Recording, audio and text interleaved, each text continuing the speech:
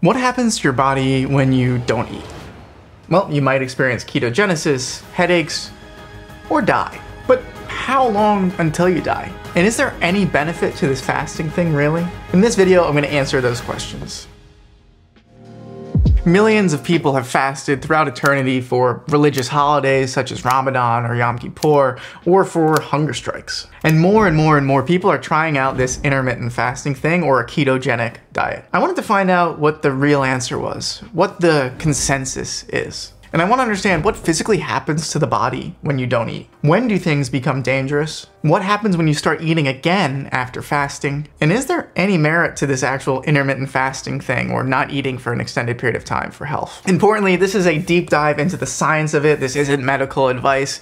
Please talk to your doctor before eating 17 pizzas in one hour or fasting until the next eclipse. So let's start with the energy cascade. Where does your body get the initial energy from? Well, your body's using something called ATP at all times. And all ATP is, is just something that's used to move or push certain things in your body. And usually this ATP comes from the breakdown of glucose or sugar. What if we run out of glucose? What if we run out of sugar? And so for the entirety of this video, I promise I'm not gonna eat anything at all so I can see what happens when I fast for an extended period. Sorry, so Okay. When I fast for the entirety of this video, where does my energy come from? I failed. Damn it. Okay, so what happens after one day of fasting, like me? Well, the first thing many people will notice is a headache.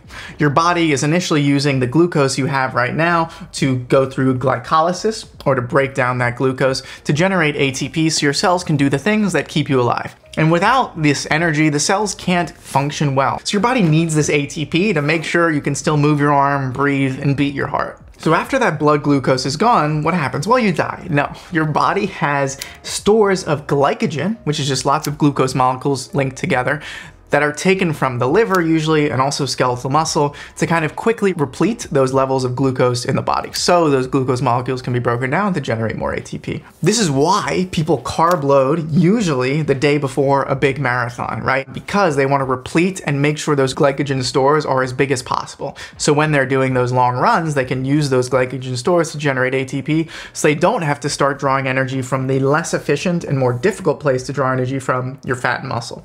And that's where days two to three come in. So days do two to three, goodbye glycogen, hello fat and muscle. If we're undergoing intense exercise, we can actually exhaust our glycogen stores as quickly as 80 minutes into exercise. So at rest, each of our muscle cells contains about 1 billion ATP molecules.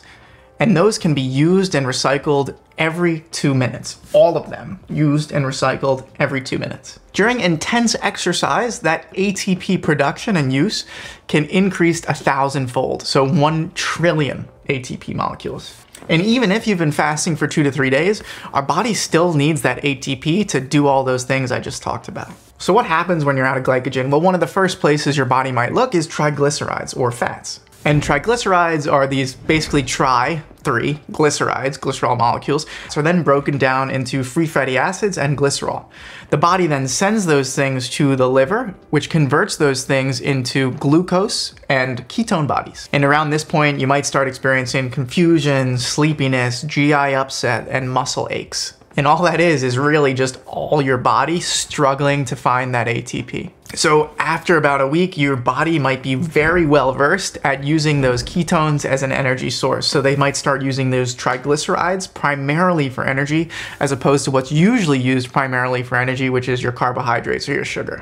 However, given that we are completely fasting, there's a chance we might exhaust those fat stores pretty quickly. And once we actually go through those fat stores, the next place to look is muscle.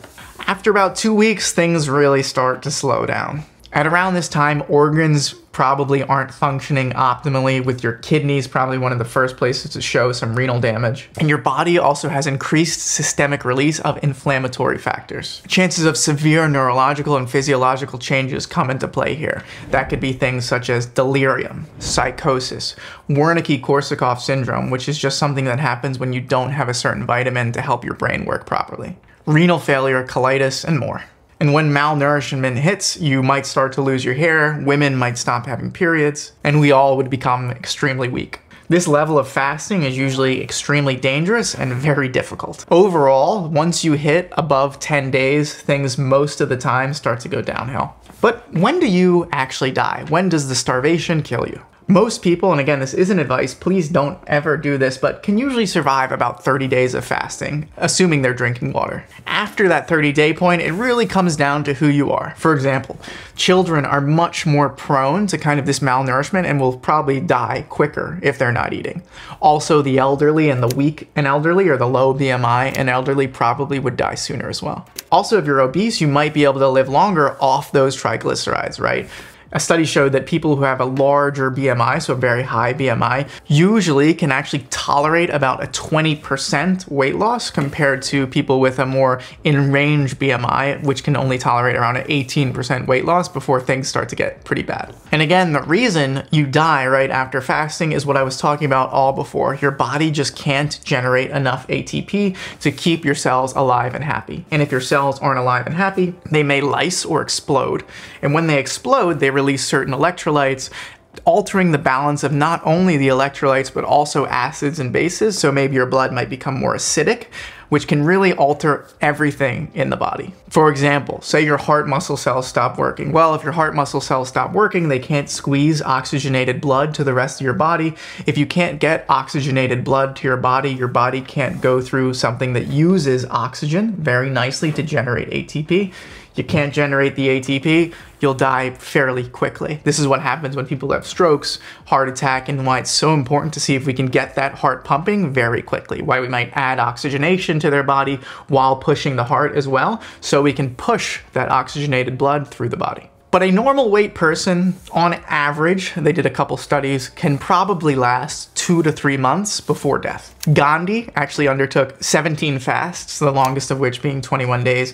But the world record holder was a guy named Angus Barbieri. He was a 456 pound guy from Scotland, um, 17 years old. But he fasted for about 382 days. He left at 180 pounds, losing about 300 pounds.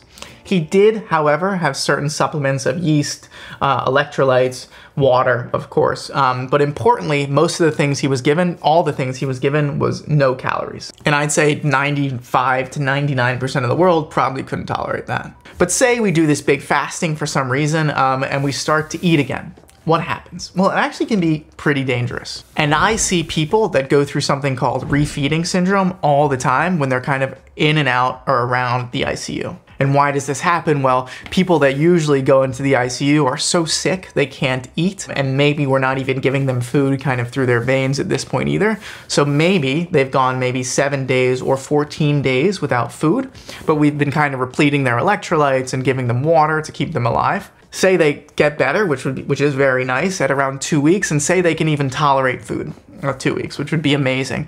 When they start to eat, right? What happens is you get this huge spike of insulin. And what insulin does is saying, okay, we finally have some food, thank God. Let's push all these things into our cells. Let's move the glucose in, let's move the glucose out, let's do all these kind of things. But what happens is, is when you're pushing things into cells or out of cells, you're altering the balance of these electrolytes in the body. And that's why people who are usually started to eat again after a long, long, long, long time of not eating are usually monitored in the hospital with daily blood draws or something like that. That way we can actually replete their potassium, sodium, magnesium, phosphate, things like this, so they don't get to kind of dangerous levels. But let's talk about the less dramatic thing. What about just simply going for like intermittent fasting to lose weight and then you start eating again? What happens to your weight? Well, unfortunately, in overweight individuals, the studies really show that people who do cal caloric restrictions usually gain the weight back. Of course, this isn't always true, right? This is just what the evidence supports. And finally, onto the reality of fasting. Is intermittent fasting actually beneficial? Should people do it to live longer? I don't think so. Or I don't think science knows yet. Regarding overall weight loss, right, there's a bunch of studies that look at biomarkers, weight loss, glycemic control, and things like that and they actually show the overall energy intake, which is just the amount of calories you're eating in the day, is really what matters. It doesn't matter if you're fasting for a certain amount of time or distributing those calories throughout the day. It's really the overall calories, which makes sense to me. Now, some studies say, right, there might be benefits in neurological disease, metabolic syndromes, cardiovascular diseases, And there actually was some exciting evidence about, you know, certain help of fasting when you're going through cancer treatment with things such as tyrosine kinase inhibitors. But actually, the most recent scary article was from the American Heart Association, which looked at 20,000 adults and that found that following an eight hour time restricted diet, those people had a 91% higher risk of death from cardiovascular disease than people who weren't going through that kind of intermittent fasting. And it also found that people with heart disease or cancer had a higher risk of cardiovascular death when they were trying this fasting. So again, this is just one study, good number of people, around 20,000. Um, but again, it's showing some association, not necessarily cause here. I don't think there's evidence either way that's going to point me in the recommendation fast or not. I think what there is evidence for is kind of your overall caloric consumption every day. So what do I think overall about everything I just talked about? Well, I think in general my answer isn't a sexy answer. It's just that moderation is the best. You shouldn't be eating dramatic amounts of food at a certain amount of time for an extended period of time because this can uh, increase your chances for diabetes, metabolic syndromes, cardiovascular disease, things like this, especially when it's associated with with a sedentary lifestyle. However, underconsumption can actually lead to organ dysfunction, you losing your hair, losing the ability to think properly, kidney issues, delirium, or even death.